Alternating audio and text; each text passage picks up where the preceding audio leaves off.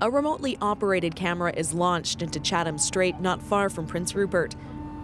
Researchers scoured the water, searching for extremely rare glass sponge reefs that were initially discovered during an environmental assessment for a proposed pipeline.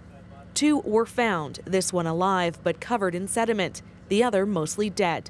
What we're trying to do is to understand them as best we can and to understand what kinds of human activities uh, may impact.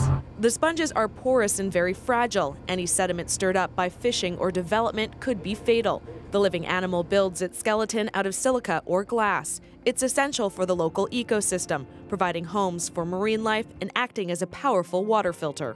Whenever you have a reef in the ocean, you can bet your bottom dollar that it's going to be associated with a lot of very important biology. And we have important fisheries here. This reef in Hecate Strait was found in 1987.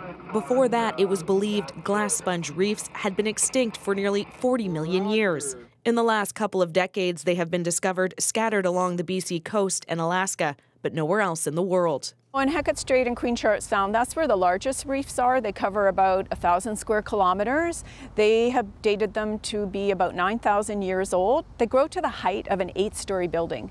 The federal government made the area around those reefs a marine protection area last year. We want to make sure that they do get protection because they help uh, sustain uh, populations of fish that are actually important for the, the fishery here. It doesn't take much.